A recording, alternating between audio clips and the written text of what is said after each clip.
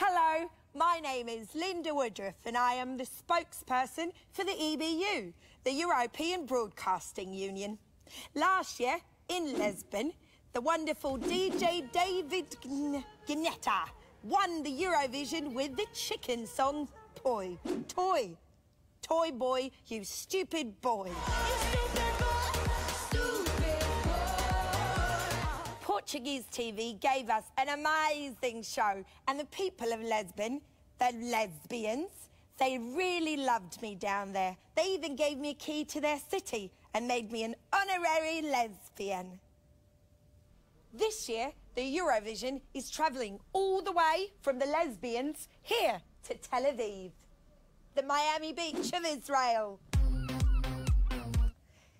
This is the first time since 1999 when the Eurovision is coming back to Israel, the country that gave us Dana International and Jesus. Jesus has also competed for Eurovision, but for Austria, with the song Dries Like a Kleenex. Dana International's participation upset very many narrow-minded people. Hashtag boohoo. Why? Well, she was Eurovision's first trans woman. Hashtag woohoo! But in the end, she won and became Eurovision's biggest diva. Hashtag screw you. Here I am at Swedish television's Eurovision Hall of Fame. Eric Shadide, Alexander Ribeye, The Kikki, Hooray!